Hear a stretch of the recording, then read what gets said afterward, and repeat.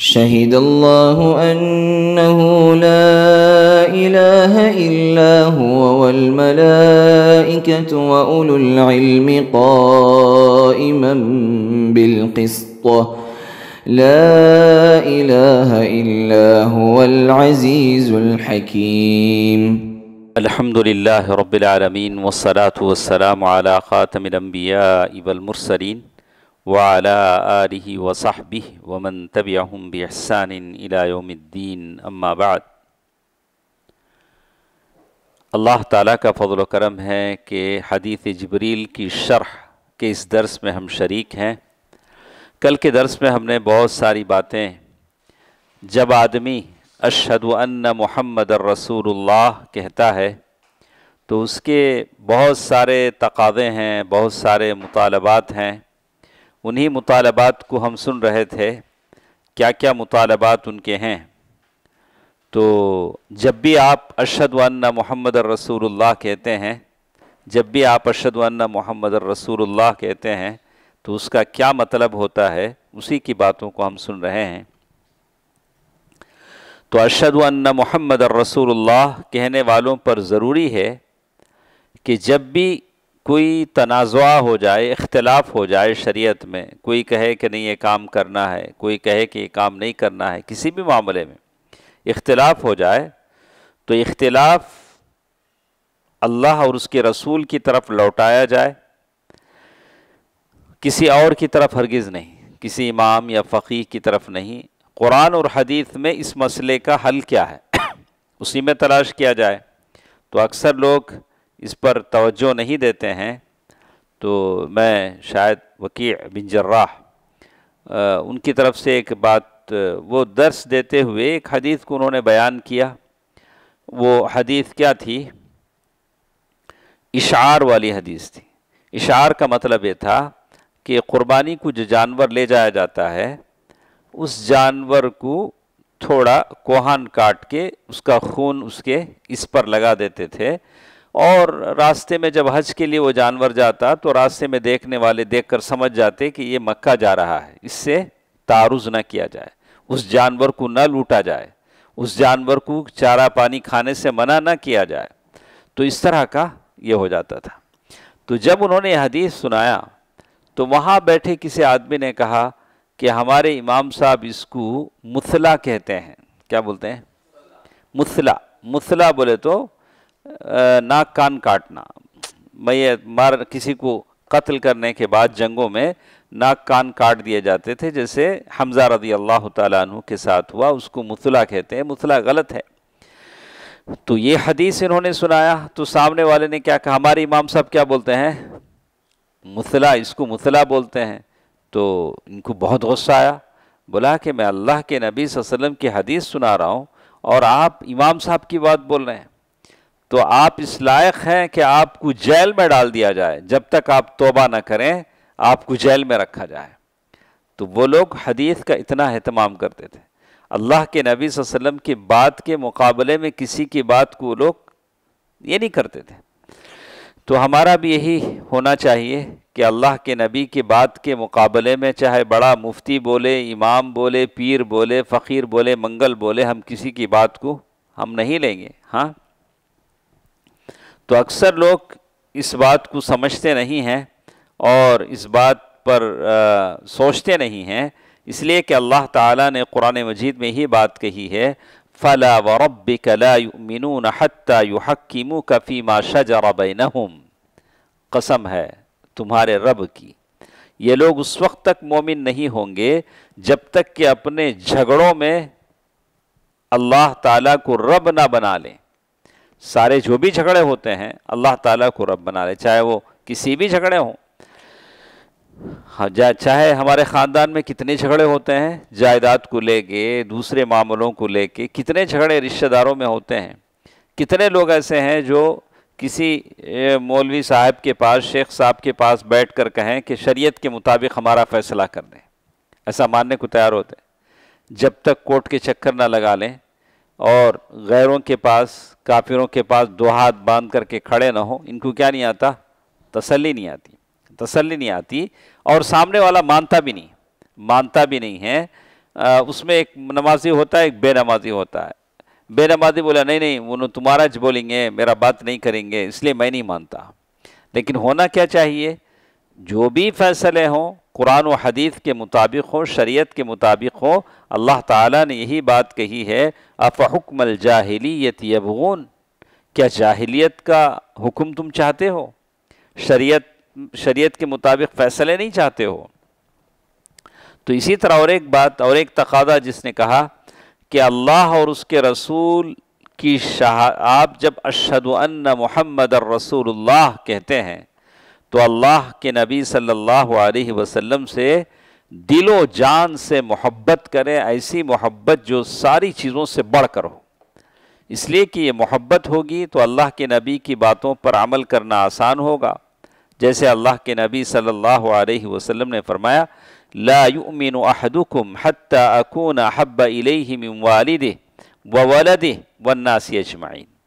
तुम में से कोई मोमिन नहीं होगा यहाँ तक कि मैं उसकी नज़र में मिमवालिद ही व वलद, उसके बाप और बच्चों से ज़्यादा महबूब जब तक ना हो जाऊँ, सारे लोगों से ज़्यादा महबूब ना हो जाऊँ, तब तक मोमिन नहीं होगा। तो अशद अन्न मोहम्मद रसूलुल्लाह का मतलब ये भी है कि अल्लाह के नबी सल्लल्लाहु अलैहि वसल्लम से आप मोहब्बत करें। ठीक है, अब तक जो बातें हमने सुनी, इस गवाही के तकाजे सुने लेकिन अब जो बात ये बता रहे हैं, इस मोहब्बत का तकादा क्या है? आप जब किसी से मोहब्बत करते हैं तो उसके तरह के कपड़े पहनने लगते हैं, नहीं? वहाँ तक के लोग उसकी तरह के बाल भी बनाने लगते हैं। उसकी तरह का चालो चलन इख्तियार कर लेते हैं कि उनको उससे क्या है? मोहब्बत है। तो बाल बदल गए, कपड़े बदल गए, चालो चलन बदल गया हाँ अल्फाज बदल गए हाँ गुफ्तार, किरदार, सारी चीज़ें उसमें ढल जाती हैं कि मैं उसका फ़ैन हूँ। आखिर में क्या बोलते हैं? हाँ फ़ैन बोले थे एक फ़ैन तो आप जानते लेकिन ये लोग क्या बोलते हैं? मैं उसका फ़ैन हूँ। लेकिन इस मोहब्बत का क्या तकादा है? अल्लाह के नबी सल्लल्लाहु अलैहि वसल्लम की मोहब्बत का क्या तकादा है? देखिए इस मोहब्बत की तकमील के लिए, अल्लाह के नबी वसल्लम से मोहब्बत आप करते हैं तो हर उस चीज़ से मोहब्बत करनी पड़ेगी जिससे प्यारे नबी को मोहब्बत थी। नबी को कुरान की तिलावत से मोहब्बत थी तो आपको कुरान पढ़ना पड़ेगा। कुरान की तिलावत करनी पड़ेगी। और नबी वसल्लम को मक्के मुकर्रमा से सहाबा से मोहब्बत थी तो मक्के मुकर्रमा से, मदीने से आपको मोहब्बत करनी पड़ेगी। अल्लाह के नबी वसल्लम की जितनी अजवाज मतहरात हैं, सबको महातुलमिन हैं, वो हमारी माएँ हैं। उनकी बातें, उनसे, उनके उनके एहतराम का लिहाज करना चाहिए। कितने ऐसे हैं? मालूम है कि राफिदा शिया, गाली शिया उम्मातुलमिन को गालियाँ देते हैं। और उनकी तरफदारी कौन करते हैं? ये इखवानी करते हैं। ये जितने इखवानी हैं, ब्रदरहुड और उससे निकलने के जितने सोते निकलते हैं, सोते मतलब ब्रांचेस चाहे वो हमारे मुल्क में हो, चाहे पूरे आलम इस्लाम में हो, इखवानियत से हस, जितनी भी तहरीकें निकलती हैं, सब उनको सपोर्ट करते हैं। और कभी कभी फ़ख्र से कौल नकल करते हैं। इमाम खुमैनी ने ये कहा सुबहान अल्लाह अलियाज़बिल्ला हाँ अल्लाह ताला उसे वो बदला दे जिसका उसने किया। कैसे आप बोल सकते हैं? उन्होंने वो आपकी माँ को गाली देता है मिन आयशा रदी अल्लाह तह को गाली देता है, कैसे आप उसकी तरफदारी कर सकते हैं? कैसे उसे इज़्ज़त से उसका नाम लेते हैं? उसकी जो किताबें लिखी गई हैं। तो लोगों को इस बारे में अलवला और बरा का लिहाज करना चाहिए। हम जो हमारे अकायद का एहतराम करता है, हम उसका एहतराम करते हैं। जो खुलकर उम्मातुलमिन के ताल्लुक़ से बोले, अबू बकर के ताल्लुक़ से बोले, और अबू बकर और उमर को कहे कि ये दो बड़े बुत हैं। हाँ ऐसा अगर कोई कहते हैं तो कैसे हम उनकी तरफदारी करते हैं? और तुरफा तमाशा ये कि ये भी बोलते हैं, सब कुछ साथ लेको चलना कहते हैं। कैसा लेके चलेंगे? आपकी एक गज ज़मीन कोई हथिया ले तो आप नस्ल दर नस्ल उससे दुश्मनी कर दें हमारा एक गज ज़मीन उसकी जगह में मिला लिया उन्हें। नस्ल दर नस्ल, मरता हुआ अपने बेटे को भी नसीहत करता। देख, उनसे क्या भी रखना नहीं ताल्लुक। हमारा एक गज ज़मीन उन्होंने मिला ले लेकिन शरीयत का जनाजा निकल जाए, बोलते नहीं, उनको साथ लेकर चलना। कैसे हो गए? ठीक है। अल्लाह के नबी वसल्लम से मोहब्बत का तकादा यह है कि आप कुरान से मोहब्बत आपको हो, मक्के से मोहब्बत हो, मदीने से मोहब्बत हो, अल्लाह के नबी वसल्लम की आल औलाद से मोहब्बत हो। उसी मोहब्बत का ये भी लाजमी तकादा है कि अल्लाह के नबी वसल्लम का जो मिशन था, जो दावत थी, उससे भी आपको क्या हो? मोहब्बत हो? सारे नब, सारी ज़िंदगी अल्लाह के नबी वसल्लम यही कहते रहे, कुला इलाह तुफलिहून. तो उसी को लेकर तो हम दावा टेबल लगाते हैं। वही पैगाम तो लोगों को पहुंचाते हैं। ला इलाह इल्लल्लाह पढ़ लो ताकि तुम फलाह कामयाब हो जाओ। ये मशीन किसका है? नबी अकरम सल्लल्लाहु अलैहि वसल्लम का है। अगर इस दावा टेबल में अगर आप ज्वाइन होते हैं तो गोया आप अल्लाह के नबी से मोहब्बत करते हैं। जिस दावत, जिस पैगाम को नबी ने किया है, उस पैगाम को आप पहुंचाते हैं। आप जो काम कर रहे हैं, वो किसका काम कर रहे हैं? नबी का काम कर रहे हैं, माशाल्लाह। नबी ने मक्के की गलियों में जो काम किया आ सूख उकास सूख मजन्ना में उन बाज़ारों में, उन गलियों में जो काम किया, वो काम आप करते हैं तो गोया आपको अल्लाह के नबी से क्या है? मोहब्बत है। ये मोहब्बत का तकादा है। मोहब्बत का तकादा है कि अल्लाह के नबी वसल्लम की इस मिशन को पूरा किया जाए, जो दावत तोहहीद से जिसका शुरुआत हुई, और पूरी ज़िंदगी अल्लाह के नबी की ज़िंदगी में यह दावत तोहहीद जारी रहा। पूरी ज़िंदगी तो अल्लाह के नबी सल्लल्लाहु अलैहि वसल्लम और इसी के साथ साथ आपके तरीक़े मुबारक की इत्तबा की तलकिन जारी रही। आप अल्लाह के नबी वसल्लम की नक्श कदम पर चलते रहें, इत्तबा करते रहें। तो एक तो मालूम हुआ कि हमारा जो काम है, दावत का काम, ये काम किसका काम है? अल्लाह के नबी का काम है, बड़ा मुबारक काम है। सिर्फ़ नबी का काम ही नहीं उससे पहले जितने अम्बिया है सारों का काम है आप जब दावत के रास्ते में निकलते हैं तो आप नूह सलाम का भी काम करते हैं आ? हाँ? और ईसा सलाम का भी काम करते हैं, सारों का काम करते हैं, नहीं तो लेकिन इससे, इसका अजर अलग है अब अगर कोई ये नहीं कहे कि नहीं, मैं करता सो अलग, तुम्हें करता, नहीं अब अगर एक मिसाल मैं बताता हूँ सूर अखलास सूर अखलास ये कुरान का तीसरा हिस्सा है। कुरान को तीन हिस्सों में अगर बांटें तो तीनवा हिस्सा क्या है? सूर अखलास अब अगर अकरम भैया बोलें कि अच्छा मैं ऐसा करता हूँ कि मैं तीन मरतबा सूर अखलास पढ़ लेता हूँ तो मुझे क्या सवाब मिलेगा? सारे कुरान का सवाब मिलेगा तो बात ऐसी नहीं। आपको सवाब ज़रूर मिलेगा जो आप दूसरा काम करते हैं, लेकिन दावा में जो जाने का सवाब है, वो सवाब सेपरेट है। उसे इससे आप टैली नहीं कर सकते हैं। बोलते नहीं, मैं ये काम करता हूँ, इसलिए मुझे एक्सक्यूज़ है, मुझे छूट है, मैं ये नहीं कर पाता। ऐसा कुछ नहीं। इसका सवाब अलग है, चाहे वो कोई भी हो। कोई भी हो, मैं हो, वो हो वो हो, उसका सवाब दावत का सवाब अलग ही है। वहाँ उसमें आदमी फ़ील्ड में निकलता है, दीन की हक्कानियत को लोगों के सामने ज़ाहिर करता है कम पढ़े लिखे लोगों को दीन की फ़ज़ाइल, दीन की मज़ीतें दीन की खूबियाँ, दीन की आज़मतें लोगों को समझाता है तो वैसे ही है, जैसे अम्बिया लोग निकलते थे हाँ वासर वस्तक बरुस्तबारा हाँ या अल्लाह मैं निकलता हूँ, कुल्लमा दाऊ तुम या अल्लाह जब कभी मैं इनको बुलाता हूँ वो अपने कानों में उंगलियाँ ठोस लेते हैं, घरों के दरवाजे बंद कर लेते हैं। हम बुलाते हैं तो कभी लोग चले जाते हैं, बोले, इला पुदावर है पुदावर है। वो आता नहीं है। लेकिन कभी कुछ लोग खड़े होके सुनते भी हैं, कुछ लोग ज़्यादा खड़े होते हैं, कुछ लोग चंद लम्हे खड़े के चले जाते हैं। लेकिन हमारी तरफ़ से हुज्जत तो पूरी हो जाती है। लेकिन इसका सवाब अलग है। इसका स्पेशल सवाब अलग है, दूसरे कामों का सवाब वो अलग है। तो उसके बाद वो कहते हैं, इसी मोहब्बत का तकादा ये भी है कि अल्लाह के नबी सल्लल्लाहु अलैहि वसल्लम पर कसरत से दरुद सलाम पढ़ना माशा कसरत से दरूद पढ़ें। अल्लाह ताला ने उसका हुक्म दिया है आऊज़बिल्लिमिनशैतानरजीम बसमीम इन अल्लाह मलाइकतहू नबी या युहल्लदीन आमनु सल्लु अलैहि वसल्लिमु तस्लीमा। ये मोहब्बत का तकादा है कि आप अल्लाह के नबी वसल्लम पर क्या करें? बकसरत दरूद पढ़ें दरूद पढ़ें। जितना हो सके आप दरूद पढ़ें, चलते, फिरते। और जैसे मैं बताता हूँ, इसका इतना फ़ायदा है, आप सोच भी नहीं सकते।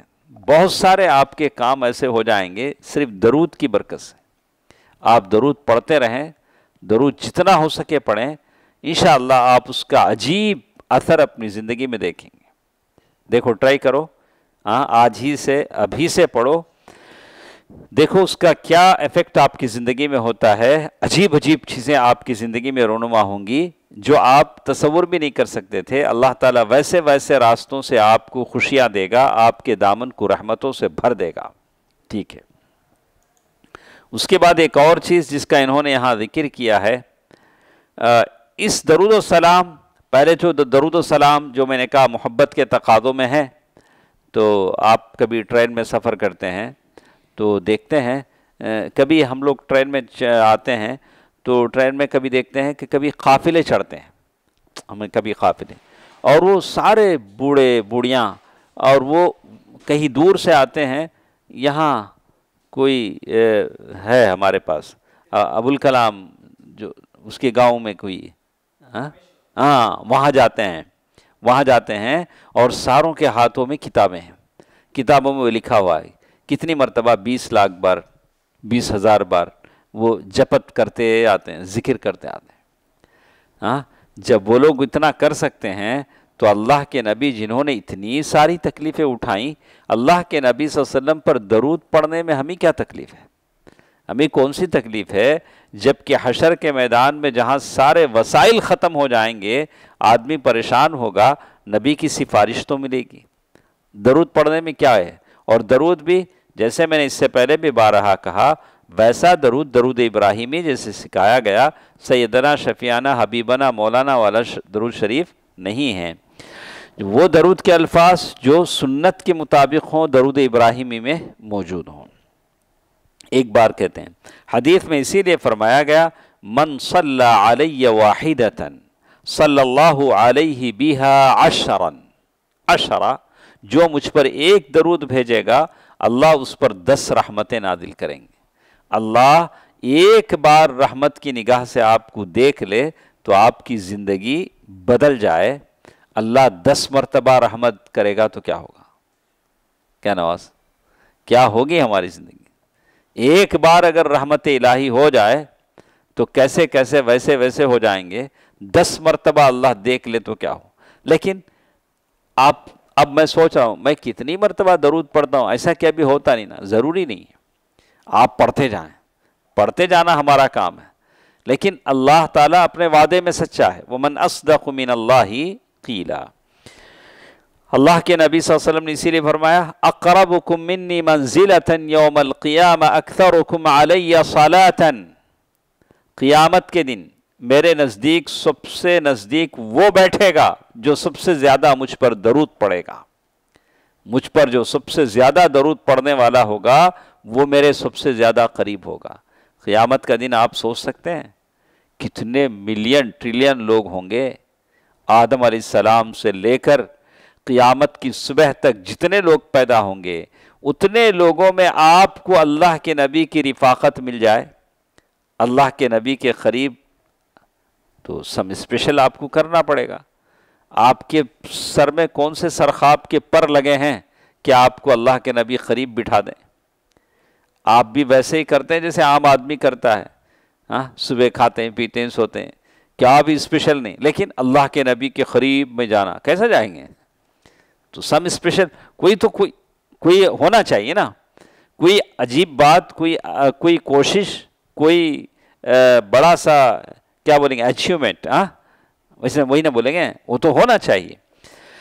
तो उसके बगैर आप चाहे नहीं नहीं इतने लोगों में इतने मिलियन ट्रिलियन लोगों में मैं अल्लाह के नबी वसल्लम के करीब बैठूँगा। उस लायक अमल तो करें। हाँ उस लायक अमल तो करें और उसके बाद उम्मीदें भी लगाएँ। अल्लाह ताला इन अजर मोहसिन ठीक है। इसी तरह जो आदमी दरूद नहीं पढ़ता है, वो क्या है? वो क्या है? जो आदमी दरूद नहीं पढ़ता है, वो क्या है? बकील है। बकील है। उसे हमें क्या बोलते हैं? बकील बोलते हैं। हम अदाशा मकान वाले क्या बोलते हैं? कंजूस बोलते हैं। नहीं, अभी एक क्या बोलते हैं। हाँ। नहीं नहीं, हमारी लैंग्वेज भाई, हम लोग क्या? हम हम लोग वही तो लैंग्वेज बोलते हैं बोलते हैं, समझते हैं हाँ? तो तो ऐसा आदमी है जो अल्लाह के नबी वसल्लम का नाम सुने और दरूद ना पढ़े, सल्लल्लाहु अलैहि वसल्लम। तो अल्लाह के नबी वसल्लम की सीरत को अगर आदमी पढ़ता है, अल्लाह के नबी वसल्लम की जो कोशिशें हुई, जो कुर्बानियाँ हुई वहद के मैदान में नबी को जो सताया गया, जो तकलीफ़ें हुई, जो सर ज़ख्मी हुआ, दान शहीद हुए, ताइफ के मैदान में जो जिसमें अत्थर से खून रिसने लगा और काबे के सहन में नबी के सर पर जो ऊँट की ओझड़ी डाली गई और काबे ही के सहन में उसके दरो दीवार गवाह हैं कि अल्लाह के नबी के गले में, गर्दन में कपड़ा डालकर मरोड़ा गया। यहाँ तक कि अल्लाह के नबी वसल्लम का चेहरा मुबारक सुर्ख हो गया। ये सारी चीज़ों को आदमी याद करे तो ज़रूर दरूद सलाम पढ़े। सल्लल्लाहु अलैहि व आलिहि वसल्लम। अल्हम्दुलिल्लाह, यहाँ तक बातें हमारी थी। अशहदु अल्ला व अशहदु मोहम्मद रसूलुल्लाह। बात ख़त्म होगी।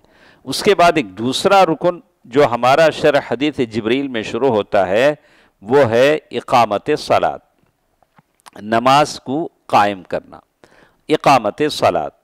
सलात, नमाज़, ये फ़ारसी लफ्ज़ है। नमाज़ क्या है? फ़ारसी लफ्ज़ है। इसीलिए ओलमा पसंद ये करते हैं कि आप नमाज़ के बजाय क्या कहें? सलात कहें।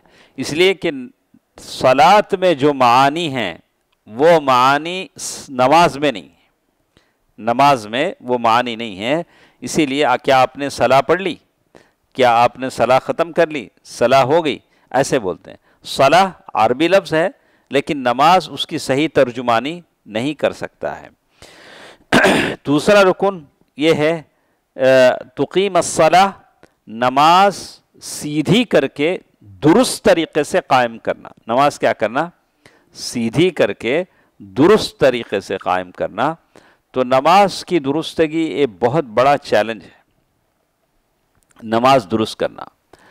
मैं हमारे सलफ़ी बच्चों से अहलदीस बच्चों से क्या बोलता हूँ? हमारा हमारा काम अलग है। हमारा काम अलग है। जो दूसरे ऑर्गेनाइजेशंस हैं, दूसरी जमातें हैं, उनका काम अलग है। वो जो काम करते हैं, वही काम गैर भी करते हैं।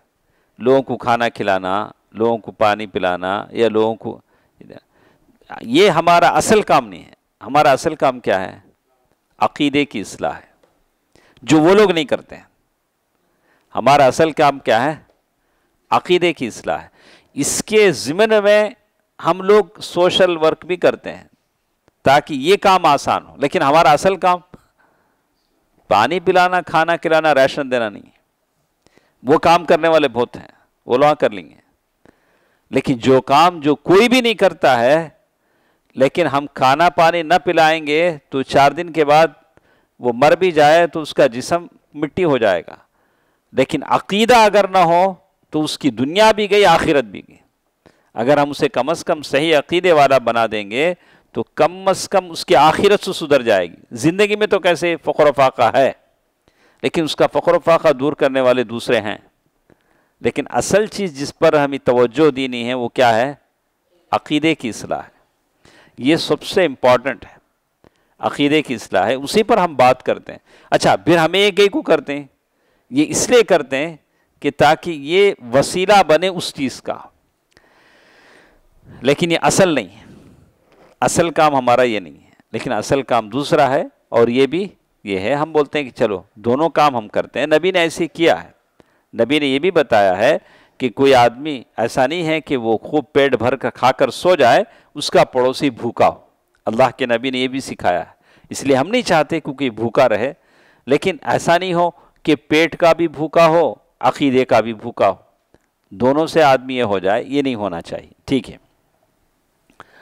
नमाज़, तोहद और रिसालत, तोहद और रिसालत की गवाही के बाद नमाज़ का ज़िक्र इसकी अहमियत को बताती है। आदमी तोहद और रिसालत की गवाही दे देने के बाद यहाँ नमाज़ का ज़िक्र हुआ है। इसीलिए हदीस में आता है कि उमूदुल इस्लाम के पिलर्स क्या हैं? तो उसमें बताया इमादुद्दीन, बाद में वो दो हदीस है, उमूदुल इस्लाम इमादुद्दीन दोनों भी हैं। तो वो खेमे के वो सुतून है जिस पर टेंट खड़ा होता है। तो तो बताया गया कि नमाज़ ये सारी चीज़ें दीन के सुतून हैं। अगर ये नहीं है तो सारा दीन डह जाता है, गिर जाता है। अल्लाह के नबी वसल्लम ने यहाँ तक बताया कि नमाज़ मोमिन और काफिर के दरमियान फ़र्क करने वाली चीज़ है। इसीलिए बताते हैं, शेख इबन उथमीन रहमल्ला ने फतवा दिया है कि अगर बीवी नमाज़ पढ़ती है, शोहर नमाज़ नहीं पढ़ता तो दोनों का रिश्ता बाकी नहीं रहता। रिश्ता ख़त्म हो जाता। है और ऐसा आदमी जो नमाज़ नहीं पढ़ता लायुदफन फ़ी मकाबिर मुस्लिमीन के ख़बरस्तान में उसे दफन नहीं किया जाएगा। वला युसल्ला अलैह वला युसिल न तो उसे गसल दिया जाएगा, न उसकी जनाजे की नमाज़ पढ़ी जाएगी। अल्लाह हाँ नमाज़ की इसमें फ़र्क है कि जैसे हमने कुरान में पढ़ा, अल्लदीन सलातिहिम साहून। वो लोग वैल वैल मुसलिन वैल जहन्नम का गढ़ा नमाज़ पढ़ने वालों के लिए। सुबहान अल्लाह जहन्नम का गढ़ा किसके लिए है? नमाज़ पढ़ने वालों के लिए। क्या अजीब बात हुई। हम तो समझते थे कि बेनमाजी जहन्नम में जाएँगे। नमाज़ पढ़े, उल्टा जहन्नम में जाए। ऐसे कैसे? तो अल्लाह ने उसका जवाब भी दे दिया, अल्लदीन अन सलातिहिम साहून। दो चीज़ें हैं। नमाज़ में भूलना अलग है, नमाज़ को भूलना अलग है। क्या? हाँ नमाज़ में भूलेंगे तो सजद सहू से बात पूरी हो जाती है। हाँ नमाज़ को भूल जाएँगे तो वो जहन्नम का गड़ा है। अल्लदीन अन सलातिहिम साहून, अल्लादीन हम युराऊन, जो शोआफ करते हैं। वयम नऊन अलमाऊन जो छोटी छोटी चीज़ों से लोगों को रोकते हैं। तुम्हारे घर में सीढ़ी है, बाजू घर वाले सीढ़ी मंगाए। नहीं, ज़र्रा क्या कि ख़राब है? क्या भी बिगाड़ के देता नहीं, दे दे सकते हैं, कोई बात नहीं। कभी बाजू घर वाले कभी कोई चीज़ मंगा लेते हैं, मिक्सी मंगा लेते हैं, कोई चीज़ मंगा लेते हैं, आदमी दे सकता है, लेकिन बिगाड़ के न दें तब। ले जाके बिगाड़ के लाते हैं तो फिर बात अपनी मर्ज़ी है। तो छोटी छोटी चीज़ें, पानी है मुफसरीन ने छोटी छोटी चीज़ों में पानी शुमार किया है। लेकिन आज के ज़माने में पानी हम लोग ख़रीदते हैं। हाँ तीस रुपये दे के रिफ़िल ख़रीदते हैं तो शायद आज के ज़माने में शायद पानी वो हुक्म न लाए। तो कहते हैं तो इसीलिए कहा गया कि नमाज़ ऐसी चीज़ है जो कभी किसी हालत में माफ़ नहीं, बीमार से भी नमाज़ माफ़ नहीं। अगर खड़े होकर नमाज़ नहीं पढ़ सकता तो बैठ के पढ़े, बैठ के नहीं पढ़ सकता तो लेट के पढ़े लेट कर भी नहीं पढ़ सकता तो इशारों से पढ़े। जब तक होश व हवास है और तहारत का लिहाज है कि मैं तहारत से हूँ, नमाज़ का टाइम हो चुका, नमाज़ उससे माफ़ नहीं है। तो इसीलिए अल्लाह के नबी सल्लल्लाहु अलैहि वसल्लम ने जब आप देखेंगे कि सबसे नमाज़ का अहकाम दीन में, नमाज़ सबसे आखिर में मफूद होगी।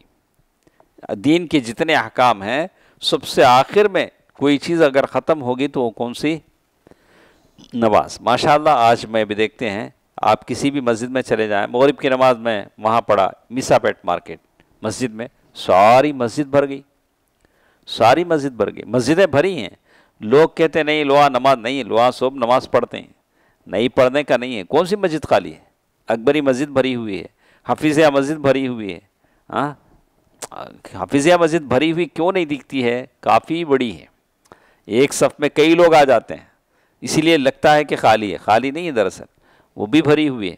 सारी मस्जिदें भरी हुई हैं, लेकिन खुशो खुदो उतना नहीं है। डॉक्टर तकीउद्दीन हिलाली, एक बड़े मुसनफ़ हैं मौलफ़ हैं। तो वो दो मरतबा इंडिया आए, वो सलफ़ी हजरात से, आल हदीसों से मिले। तो दूसरी मरतबा जब आए तो उनसे पूछा गया कि बहुत पहले आप आए थे, उसके बाद बरा एक ज़माने के बाद, आपने यहाँ के हदीसों को कैसे पाया? कुछ फ़र्क आया इनमें? तो उन्होंने कहा कि मैं जब पहली मरतबा आया था तो इनकी नमाज़ों में मैं खुशु खुदू देखता था। नमाज़ें ज़रा लंबी होती थी, नमाज़ों में इनहिमाक था। लेकिन चलते ज़माने के साथ साथ इनके अंदर क्या हो गया है? नमाजें क्या हो गई हैं? खुशु खुदू से खाली हो गई हैं। तो क़ियामत की निशानियों में सबसे पहले जो चीज़ लोगों की दिलों से उठा ली जाएगी वो क्या है? खुशु खुदू है। नमाजें रहेंगी, मस्जिदें भरी रहेंगी, लेकिन क्या उठा लिया जाएगा? खुशु खुदू उठा लिया जाएगा। देखिए, एक हदीस के मुताबिक क़ियामत के दिन सबसे पहले नमाज़ का हिसाब लिया जाएगा। बाज़ अहादीस में आता है, बंदों के हकूक़ का हिसाब लिया जाएगा। दो तरह के हदीसें आते हैं। तो उमूमी लिहाज से वो इनफरादी लिहाज से ऐसा भी हो सकता है। तो नमाज़ की अहमियत के लिए इतना ही काफ़ी है कि जब भी कोई आदमी मर रहे होते हैं, इंतकाल हो रहा होता है किसी का तो वो क्या करते हैं, अपनी बीवी बच्चों को बुला के, बेटों को बुला के, देखो, मैं जा रहा हूँ, अम्मी को अच्छा देख लो, चाचा को अच्छा देख लो, नसीहत करते हैं।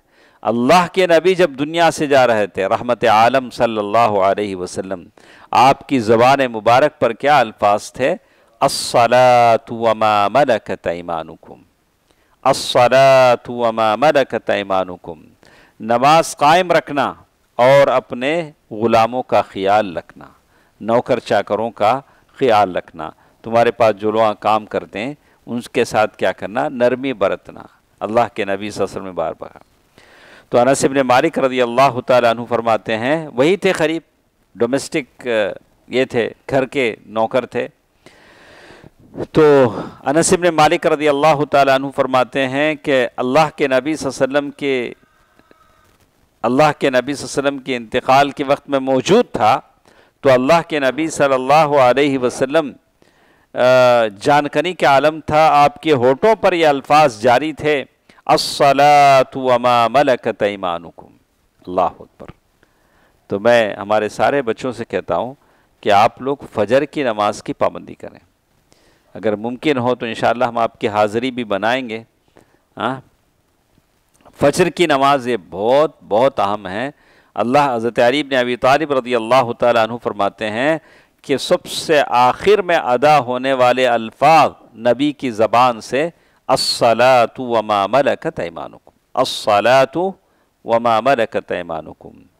तो नमाज़ हर चीज़ ज़मीन पर फ़र्ज़ होती है लेकिन नमाज़ सातों आसमानों पर महराज के मौके पर फ़र्ज़ हुई इसलिए उसकी अहमियत बढ़ जाती है हाँ तो ये तमीज़ और किसी और फरीज़े को हासिल नहीं न ज़क़़त को ना हज को लेकिन नमाज़ ऐसी चीज़ है जो सातों आसमानों पर तो इसीलिए कहते हैं कि क़ियामत के दिन जहन्नमियों से पूछा जाएगा कि भाई आप जहन्नम में कैसे आ गए? जहन्नम में कैसे आ गए?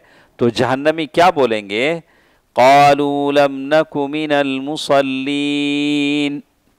हम नमाज़ नहीं पढ़ते थे। आप ताजुब करेंगे सईद मुसैब, नहीं? सईद मुसैब कहते हैं कि 40 साल तक मैंने तकबीर तहरीमा नहीं छोड़ी। कितना? चालीस साल, कर सकते हैं। तकबीर तहरीमा जो, फ़र्स्ट तकबीर जो मस्जिद में, हमारे अब्दुल हन्नान साहब, अल्लाह अकबर, हमें हमने पूरा आइडिया रहता। पाँच दस को जमात खड़ दी, उन्होंने लंबा पढ़ाते दूसरी रकात, कैसा भी हमें सलाम के टाइम पर गए तो भी हम ना हो जाए मिल जाएगा। तो इसका नमाज़, अल्लादीन हम अन सलातिम साहून। लिखो जेब में रख लो, पेपर में। जब जब उठा को देखते रहो। अल्लादीन हम अन सलातिम साहून। तो बात ये बताते हैं, कालू लम मुसलिन सईद मुसैब ने कहा कि मैं चालीस बरस मैंने तकबीर तहरीमा के साथ नमाज़ पढ़ी। और बाज़ वो कहते हैं कि मैंने किसी की पीठ नहीं देखी। मैंने किसी की, क्या मतलब? वो तो पहली सफ में थे। पहली सफ में थे। दूसरी मस्जिदों में पहली सफ मिलना ज़रा मुश्किल है। लेकिन आपके पास बड़ा आसान है। आपके पास क्या है? आसान है। आपके पास बहुत आसान है। बड़ा लंबा सफ़ है। आप पढ़ ले सकते हैं इशाद हाँ? ओके। कालू लम नकु मिनल मुसल्लीन। तो उसके बाद एक और चीज़ उन्होंने कहा तो मोमिन का मोमिन की पहली आदत और खसलत, जिसका अल्लाह ताला ने सूरतुलमिनून में ज़िक्र किया नहीं कद अफ़लहलमिनून अल्लज़ीन हम फ़ी सलातिहिम खाशिऊन मोमिन फलाह पा गए कामयाब हो गए वो लोग जो अपनी नमाज़ों में खुशु खुदू इख्तियार करते हैं तो कदफ़लहलमिनून माशा तो नमाज़ में हिफाजत बहुत कभी मुख्तदी खो जाते हैं कभी इमाम खो जाते हैं कभी इमाम साहब भी खो जाते हैं कहाँ चल जाते मालूम नहीं तशहद में बैठे रहते हैं, बैठे बैठे सलाम फेरते नहीं। पीछे से कौन तो बोले तो अच्छा उनको हो जाता। ऐसा होता है, ऐसा होता है, मैं भी कई बार नोट किया हूँ। ऐसा क्यों होता? बैठे क्या तशहद में? सनत से आप दुआएँ पढ़ें दुआएँ पढ़ें दरुज शरीफ पढ़ें अतहयात पढ़ें और चार चीज़ों से पनाह मांगे, अल्लाहुम्मा इन्नी अऊज़ु बिका मिन अज़ाबिल क़ब्र व अऊज़ु बिका मिन फितनतिल महया वल ममात, अल्लाहुम्मा इन्नी अऊज़ु बिका मिनल मअथम वल मग़रम, अल्लाहुम्मा इन्नी ज़लमतु नफ्सी ज़ुल्मन कसीरन व ला यग़फिरुद्दुनूब इल्ला अंत। सहाबा अल्लाह के नबी वसल्लम से पूछते हैं, अल्लाह के नबी, आप हमेशा खरस से कई को पनाह मांगते हैं सो?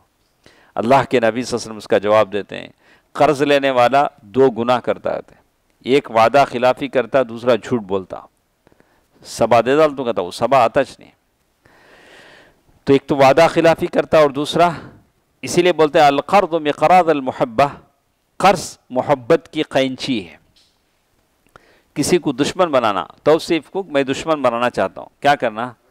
काली कर्ज दे दल दुश्मनवाद। सिंपल, क्या मसला नहीं। तो ये अलकर्द मकराद अलमहब्बा कर्ज मोहब्बत की कैंची है। तो इसीलिए कहते हैं तो ये नमाज़ है, ये अल्लाह अल्लाह तबारक ताली ने इसके बारे में और एक बताया इल्लमुसल्लीन अल्लदीन हम अन सलातिहिम दाइमून, सिवाय वो नमाजियों के जो अपनी नमाज़ों पर हमेशगी इख्तियार करते हैं, हमेशगी इख्तियार करते हैं। लेकिन नमाज़ पूरे अरकान के साथ अतदाल के साथ आदमी को पढ़ना चाहिए। जो अरकान हैं उसके इसका इसलिए कहते हैं, सबसे बदतरीन चोर कौन है? नमाज़ चोर। ये नमाज़ का चोर बदतरीन चोर, जो नमाज़ में चोरी करता। तो बदतरीन चोर। क्या क्या चोरी करता नमाज़ में? नमाज़ में खड़ा रहेगा। अल्लाह के सामने हम खड़े हैं, लेकिन कहीं कहीं घूम रहे हैं।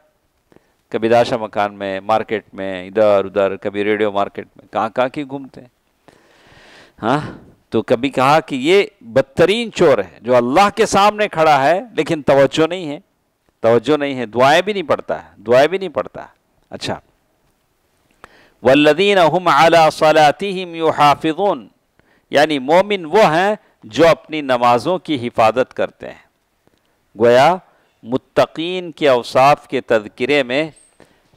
मुत्तकीन के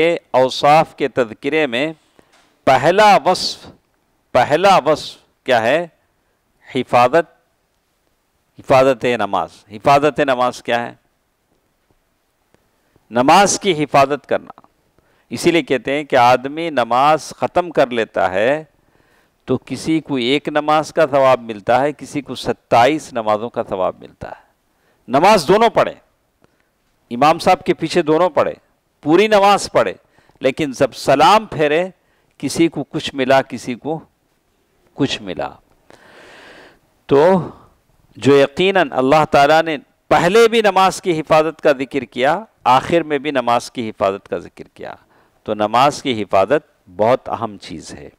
तो हमारे पास और भी बातें हैं कि नमाज़ में किन आदाब का लिहाज रखना चाहिए। हर चीज़ के कुछ आदाब होते हैं। हज के आदाब हैं, रोज़े के आदाब हैं हाँ वैसे ही नमाज़ के भी आदाब हैं।